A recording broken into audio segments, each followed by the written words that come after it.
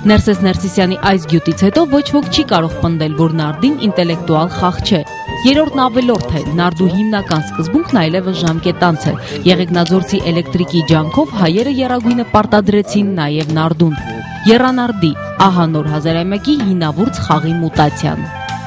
Ես երեք երեխա ունեի, արդեն երկու շաշկի են խաղում, այն մեկը կանգնած կողքը նայում էր, մի քիչ խանդում, նախանձում էր, Սկզբից շաշկի համար գծեցինք էդի, սկսեցին շաշկի խաղալ։ Երանարդին ավելի երկար ժամանակ կպահանջի հաղթանակը վիճարկողներից։ Դրա հաշվին անկախ դիտորդների ինստիտուտն ավելի արագ կտեղաշարժի պահեստայինների նստարանից դեպի խաղադաշտ։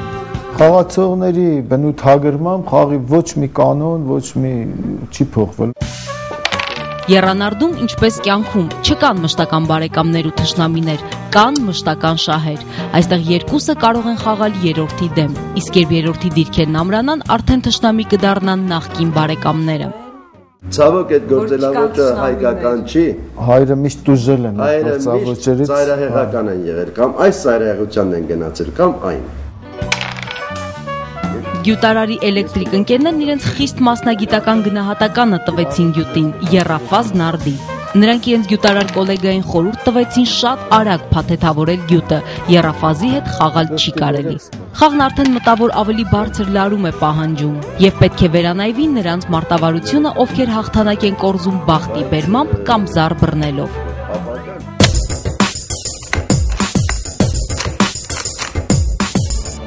Մեկ վատ լուր բնակարանային գողությունների պրոֆեսիոնալների համար։ Նրանց մարտահրավերը նետել քաղաքացի Ալբերտ Պողոսյանը։ Գլանային կողպեքներ, ահա նրա պատասխանը ուրիշ ունեցվածքին տիրելու գայթակղությանը։ Տակելով բացել չեն կարող, կերիկո բան եւ էլ չեմ խոսում դրա մասին, որ կերիկո բանով ու կոմբինացիաները միլիարդից ավել են։ Փականների նոր մեխանիզմի առավելությունները նկատեցին նաև Ռուսաստանի գո ստանդարտում։ Հայկական կոչվող փականն անցավ նույնիսկ FSB-ի փորձակնությունը։ Եզրակացությունը մեկն էր. գաղտնիության նորագույն կոմբինացիաներն ապահովված են։ Ժնևյան միջազգային փառատոնի ոսկե եւ արծաթե մեդալակիր այս կողպեքները եզակի են նաեւ կիրառական տեսանկյունից։ Բանալին կողպեքի մեջ պտույտներ է գործում ցանկացած դիրքում։ Տեսեք, ես սենց էլ մտցնեմ։ Հա ցանկացած ուղղությամբ պատտեմ ինքը մտնում է կարճման մեջ։ Առաջին հայացքից լվացքի մեքենա հիշեցնող այս սարքը ոչ թե լվանում, այլ պատրաստում է սպասք։ Այս դեպքում սարց է սպասք։ Սպասքի պատրաստման այս եղանակը նույնպես արտոնագրված է որպես մտավոր սեփականություն։ Բաժակը երեսի մասում ունի թաղանթ, սառույցի թաղանթ, որը ցույց է տալիս, որ բաժակը օգտագործված չի, եւ պետք է օգտագործենք առաջի անգամ։ Դրա համար կոտրում ենք թաղանթը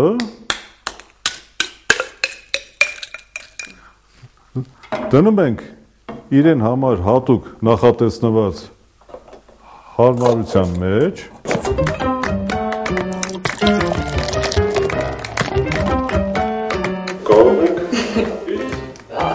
Սարցի այս բաժակի կյանքը մոտավորապես այնքան է, որքան ծնունդը՝ 1.5-ից 2 ժամ։ Գարեջրի ցիրահարները հաստատ կհասցնեն գոնե 2 շիշ խմել։ Էկոլոգիապես մաքուր, միայն H2O բաղադրությամբ սարցե այս բաժակի տեխնոլոգիան գախնի է պահվում։ Գյուտարարն ինքն էլ իր սարցե թակավորությունում պատված է գախնիության շղարշով։ Առայժմ ոչ ոքի չի հաջողվել ճեղքել գյուտարարի լռության պատը։ Գյուտարարը ճիշտ ասած իմ ընկերն է, Ուղղակի ինքը քաղաքից բացակայում է, ցավոք սրտի։ Յուտարարի ընկերը վստահեցնում է, որ սարցեգյուտը բավականին մեծ պահանջարկ ունի Ռուսաստանում, Ուկրաինայում, Լիբանանում, Հայաստանում էլ սաունաների տիրույթում։ Պահանջարկի համեմատ գինն այնքան էլ կպչուն չէ, ընդամենը 250 դրամ առանց պլաստմասե բռնակի։ Այսպեսի հաճելի ուրեմն վիճակում հեղուկը ըմպելու տեսանկյունից այնքան էլ մեծ գին չէ։ Գին չէ։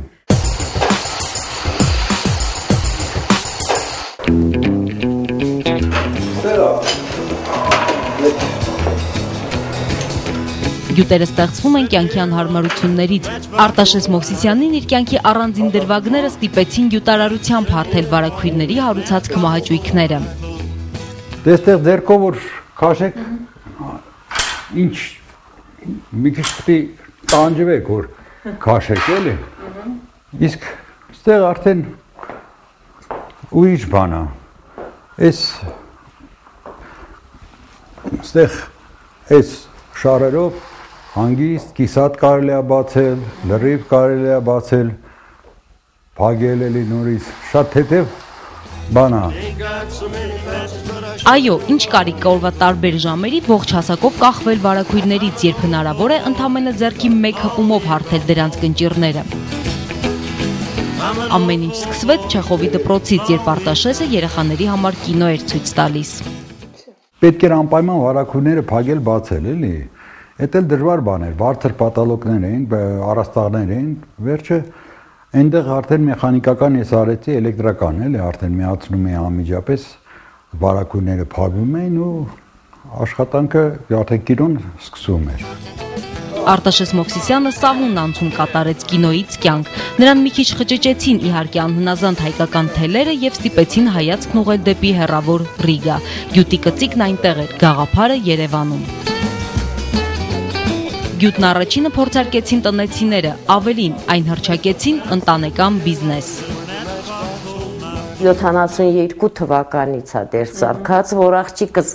1.5 տարեկան էր, ինքը ասելա, որ փչացնես, ես քեզ լավ նվեր կառնեմ ու անverջ ինքը քաշում էր, քաշում էր, բացում փակում էր ու չփչացավ։ Վարակույր տեղաշարժելու հայկական սարքը խանութներում դեռ չի վաճառվում։ Ամանորյա տոներից հետո գուցե։ Վարակույրի խանութներից մի քանիսն արդեն գործնական առաջարկներ ունեն։ Հիմա մի աման խաշը արժի 2500, թողեցի երկու ամանը խաշ արժեն, արդյունքն 5000։ Թերևս մի առանձին զուտ հայկական գյուտարարություն էլ խաշը որպես ապրանքի պայմանական միավոր ընդունելն է մասնավորապես, իսկ ընդհանրապես հայերս ի ծնե գյուտարարենք։ Դրա համար պարտական ենք մեր ոչ այնքան ուրախ անցյալին եւ նրանից շատ քիչ հեռացած ներկային։